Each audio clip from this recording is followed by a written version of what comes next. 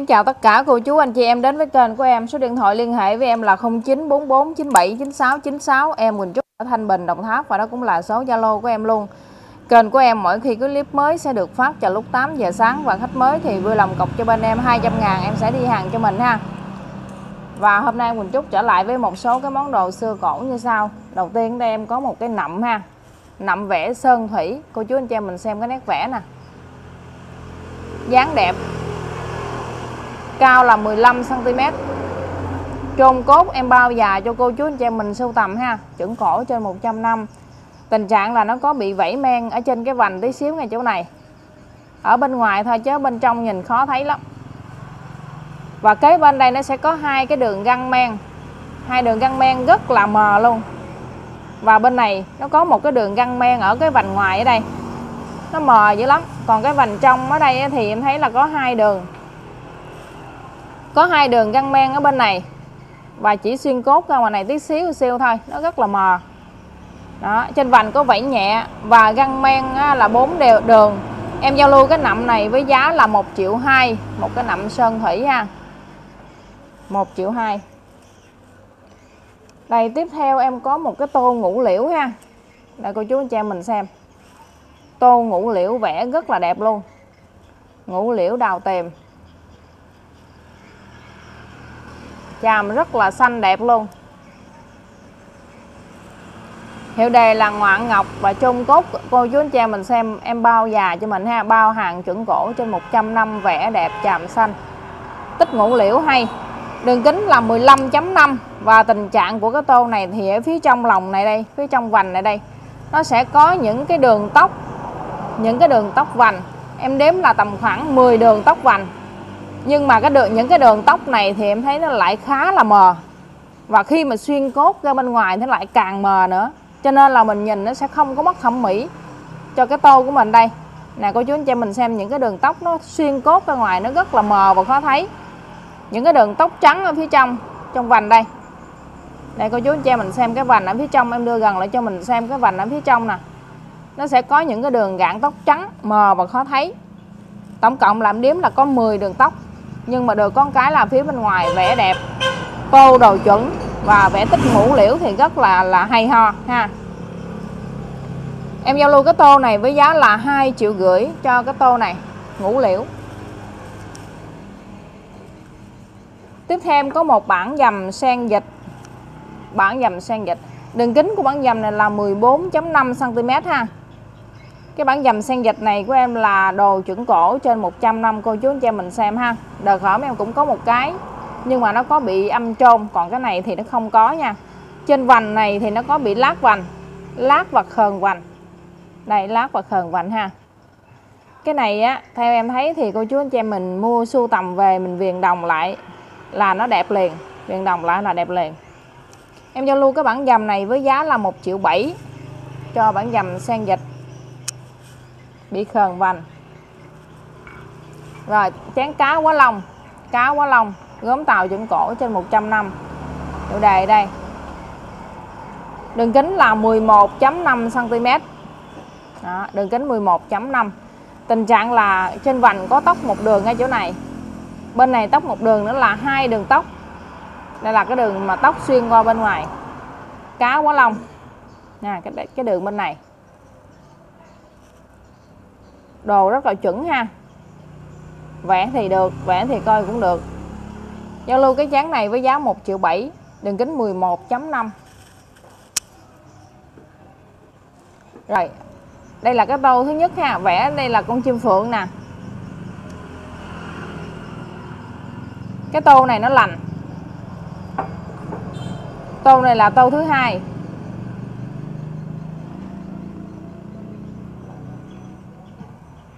đó hiệu đề đây. Đường kính là 13 với lại 14 cm hai cái này. Cái này lành đường kính 14 lớn. Cái này đường kính 13 cái hiệu đề phía trong. Tình trạng là nó có vảy vành nhẹ xíu xíu ở đây. Đây lát vành. Chỗ này lát vành nữa nè. 3 điểm lát vành. Em giao lưu hai cái tô này với giá là 500 ngàn. Một cái lành tích đường kính 14 một cái có lát vành đường kính 13 đây là một cái chén à, đông thanh gốm tàu chuẩn cổ ha. Chén to chả bá lửa luôn. Đường kính là 12.5 lành. Em giao lưu với giá là hai trăm rưỡi ngàn. À cái chỗ này nó có bị găng men. Găng men chỗ này tí xíu một đường ha. Găng men một đường. Rồi còn lại là lành đẹp hết trơn luôn. Hai trăm rưỡi cho cái chén này. Rồi, tiếp theo em sẽ có hai cái chén này ha. Đầu tiên là cái chén này, dán chiếc yêu. Gốm tàu chuẩn cổ trên 100 năm. Thường thường thấy tô chiếc yêu là nhiều, chứ chén chiếc chiếc yêu thì rất là ít thấy ha. Ở đây nó có tóc một đường. Nó vẫy nhẹ cái men tí xíu trên vành.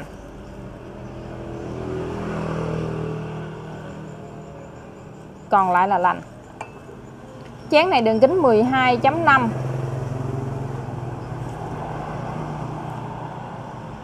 có bị khờn vành và có bị khờn vành và nó có một đường găng găng men xuống, có xuyên cốt. Đây, ở phía trong này sẽ có những cái đường gạn gạn men, gạn gạn men cho thời gian, cho đồ nó già. Nhưng mà nó sẽ có một cái đường lớn này, một đường lớn này là nó có xuyên cốt ở bên ngoài nè. Nè, ha vẫy nhẹ xíu ngay chỗ này. Cốt đế phía dưới thì nó như thế này. Đó. Cái chén này chén này vẽ hoa sen. Em giao lưu hai cái chén này với giá là ba trăm rưỡi ngàn. Tiếp theo em có một cái tô ha. Đây là vẽ con rồng gốm tàu. Đường kính là 14.5 tình trạng của nó lành. Em giao lưu cái tô này với giá là 400 ngàn. 400 cho cái tô con rồng này. Lành đường kính là 14.5 tiếp theo là cái tô này đọc nè vẽ con lân. Vẽ con lân ở đây và ở đây nữa, hai mặt. Đường kính của cái tô này là 14.2 có lát vành đây. Hiểu đề tô vẽ con lân ha, ít gặp giao lưu với giá là 550 ngàn, có lát vành. Rồi, đây là hai cái dĩa gốm tàu. Vẽ tam hữu và ở đây có con chim. Tình trạng nó lành nhưng mà nó có hơi, cái vành nó hơi bên nhẹ tí. Dĩa này là vẽ à, tích lá lật, có con chim và cái bài thơ ở đây. Tình trạng là nó có bị găng tóc ở đây một đường tóc ở đây một đường. Còn những cái đường bên này là những cái đường gạn men găng đều đều hết do đầu nó già. Đường kính là 14.5 cm em giao lưu hai cái dĩa này với giá là 450 ngàn.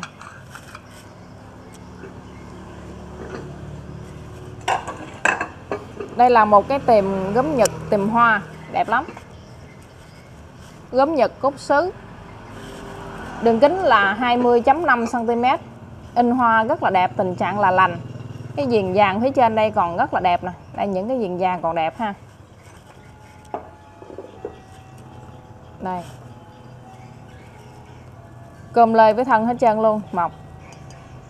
Cúc sứ đẹp.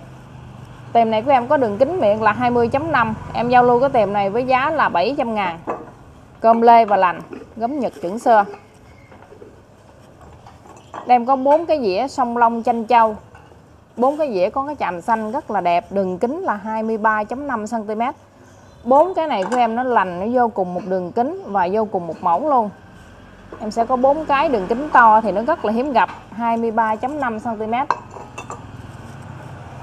đường kính lớn rất là hiếm gặp ha. Đó. 23.5 em giao lưu. Bốn cái dĩa này với giá là 3 triệu rưỡi cho bốn cái dĩa này.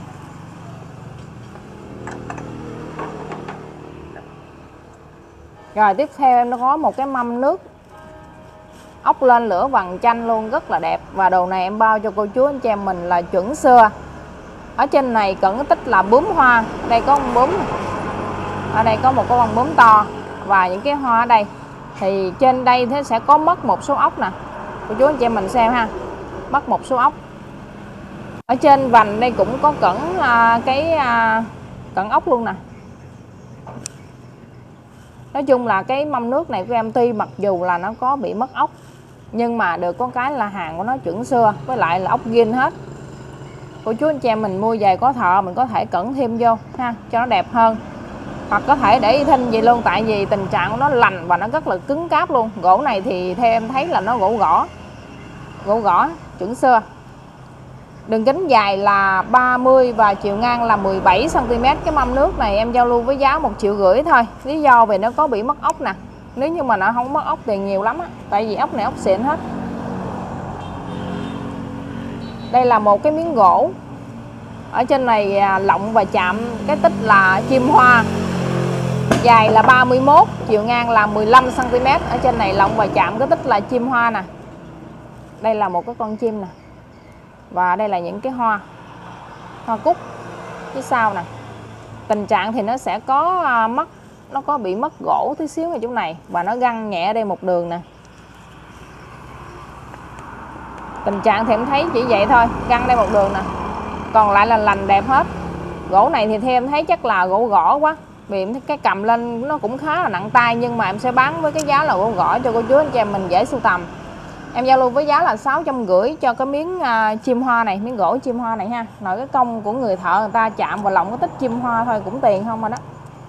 Rồi tiếp theo đem có hai con công treo tường ha. Hai con công treo tường xưa. Về mình có thể trưng bày để coi trong, trong quán cà phê hay là không gian gian xưa của mình ha. Ở đây nó có bị lỗi lò một đường chỗ này ha. Dài là 25 cm còn cái con bên này thì nó có bị tóc tóc ở đây. Cặp này em giao lưu với giá là 600 ngàn. Tiếp theo là em có một cặp cá ha. Đây là cá gốm lái thiêu, cá lia thia, dài là 29 cm mẫu cá lia thia này rất là hiếm gặp. Gốm lái thiêu nha, làm rất là khéo nè. Cô chú anh chị mình xem trong cái họng nè. Rất là mỏng và khéo. Tình trạng là lành nó vô một cặp. Lành và vô cùng một cặp với nhau. Màu da lương như thế này. Mẫu cá lê thia là gốm lái thiêu này rất là hiếm gặp luôn. Giao lưu với giá 1 triệu cho cặp này. Rồi tiếp theo đây em có một cái bộ lư uh, sông trầm. Vậy bộ lư sông trầm về cho cô chú anh chị em mình có thể trưng thờ những cái à, bàn thờ ông địa là những cái không gian mà mình muốn trưng thờ nha chuẩn xưa bộ này của em cao là 27 nặng là hai kg rưỡi cho toàn bộ luôn. Đây, cô chú anh chị mình xem. Lành lặn hết trơn nha. Lư sông trầm. Lành và đẹp và to.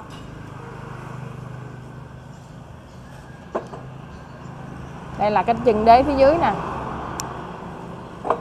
Chân đèn lành và vô cơm lê bộ với nhau hết trơn luôn. Cô chú anh chị em nào mà thích á, thì cứ liên hệ với em ha. Zalo cái bộ này với giá là 1 triệu 8 cho bộ lư sông trầm. Cao là 27 tới tông lần. Rồi em có một cái cây cân đòn đẹp nha. Cây cân đòn đẹp. Xuất sắc luôn. Cây cân này là, là loại cân 1 101 kg cân 101 kg toàn bộ là, toàn bộ của nó là bằng đồng hết, chỉ có cái này là nó bằng sắt thôi. Đây. Rất là đẹp luôn. Cái cân nè, bằng đồng hết nha.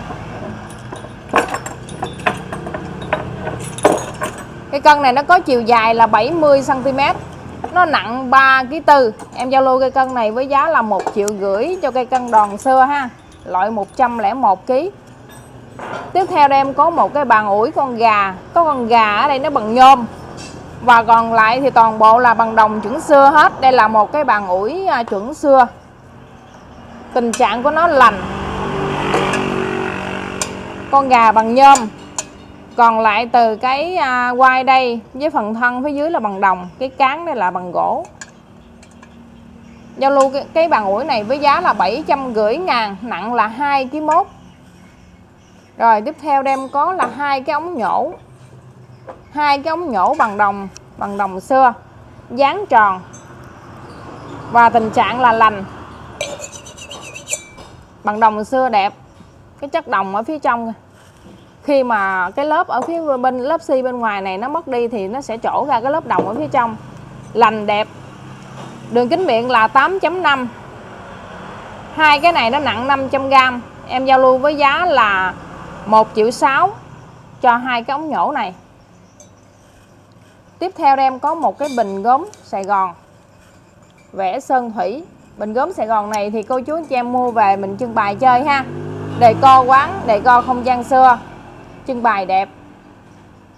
Cái màn ở phía trên này nó rất là bóng khỏe và đẹp, vẽ chàm rất là xanh. Vẽ cái tích đây đây là sơn thủy và có người tình trạng lại trên cái vành này nó có bị mẻ, bể mẻ trên vành này. Chiều cao là 42.5 cm cái phần thân ở phía dưới chỗ này nó hơi thâm men chút xíu, hơi thâm men chút xíu ở cái phần thân phía dưới này. Cốt bán xứ rất là đẹp, đây là hàng Sài Gòn. Giao lưu cái bình này cho cô chú anh chị em về trưng bày với giá là 800 ngàn thôi. Tiếp theo em giao lưu với cô chú anh chị em một cái à, bình à, lục giác. Đây là một cái lục giác à, gốm tàu chuẩn cổ trên 100 năm cao là 34 cm vẽ sơn thủy tứ dân. Đây một cái người ngồi đây câu cá một người ngồi ở phía trong đọc sách một người ở đây dẫn trâu về và một người ở đây đóng củi trên này. Sơn thủy tứ dân.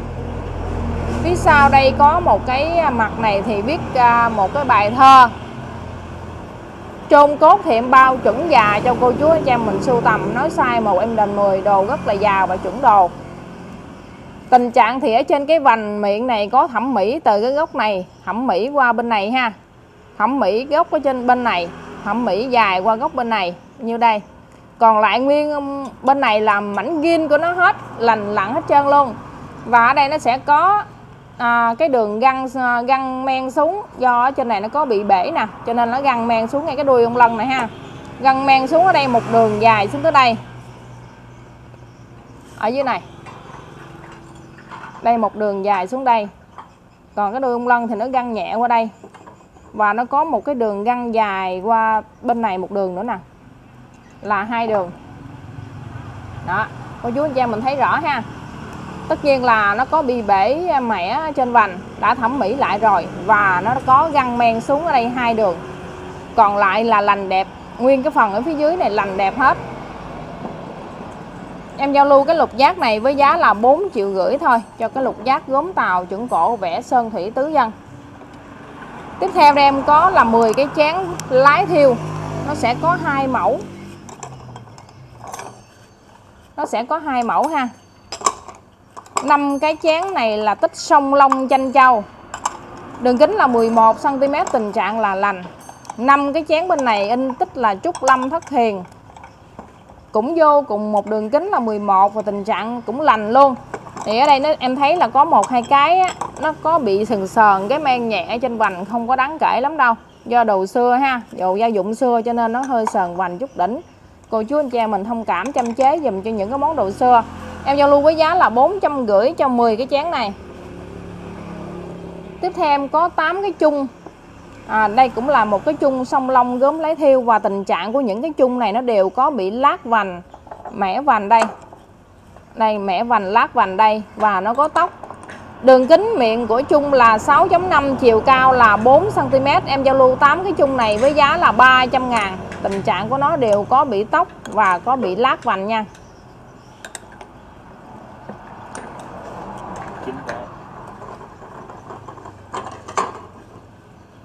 Đây là cái mẫu dĩa à, lái thiêu. Phúc Lộc, Thọ Tiên. Đường kính là 19 cm em sẽ có 8 cái. Có 8 cái dĩa như thế này. Phúc Lộc, Thọ Tiên, gốm lái thiêu xưa. 6 70 năm. Nó có một, hai cái bị sờn vành nhẹ xíu xíu, không có đáng kể. Em giao lưu 8 cái này với giá là 700 ngàn cho 8 cái dĩa Phúc Lộc, Thọ Tiên, hàng gốm lấy thiêu xưa. Tiếp theo là mẫu dĩa này là mẫu dĩa à, nhỏ để mà mình úp chung. Ở trên này có in tích là ngũ phúc chầu thọ. Đường kính là 9.5 cm tình trạng là có lẽ có 5 cái lành 5 cái lành và 4 cái bị xước vành 5 cái lành và 4 cái bị xước vành ha. Cùng một mẫu thế này và cùng một đường kính luôn. Em giao lưu với giá là hai trăm rưỡi ngàn. Cho chín cái dĩa này đây là một cái bình hoa gốm à, lái thiêu màu vẽ à, hoa với cái chàm màu khá là đẹp như thế này. Cao là 15 dáng đẹp và tình trạng nó hầu như là lành tốt hết trơn luôn chỉ có cái vành ở đây nó hơi bị nổ men tí xíu. Nổ men vành vành tí xíu là không đáng kể lắm ha. Do đồ nó xưa. Đây.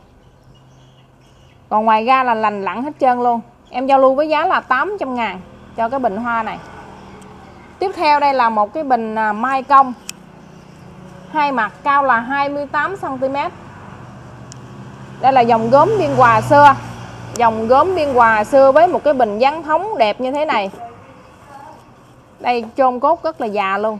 Cô chú cho mình xem, lát nhẹ trên chỗ đế này tí xíu và lát nhẹ chỗ này cho một chút xíu nữa là hai điểm lát ha.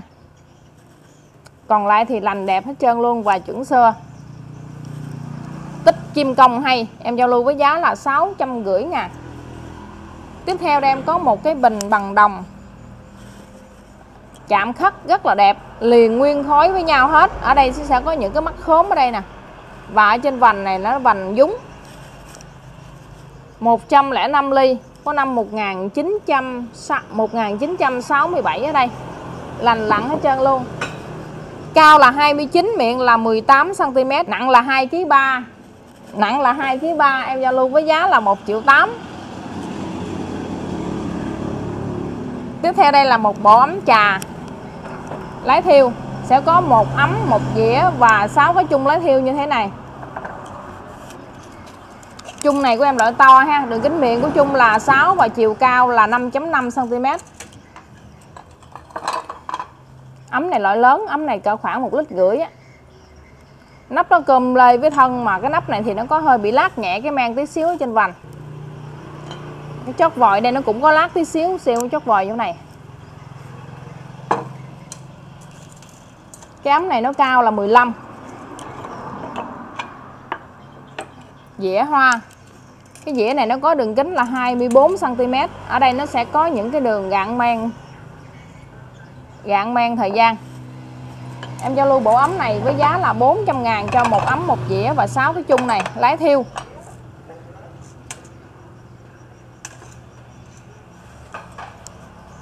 Rồi, tiếp theo đem có một cái ấm gốm nhật in tích là Trúc Lâm Thất Hiền ha.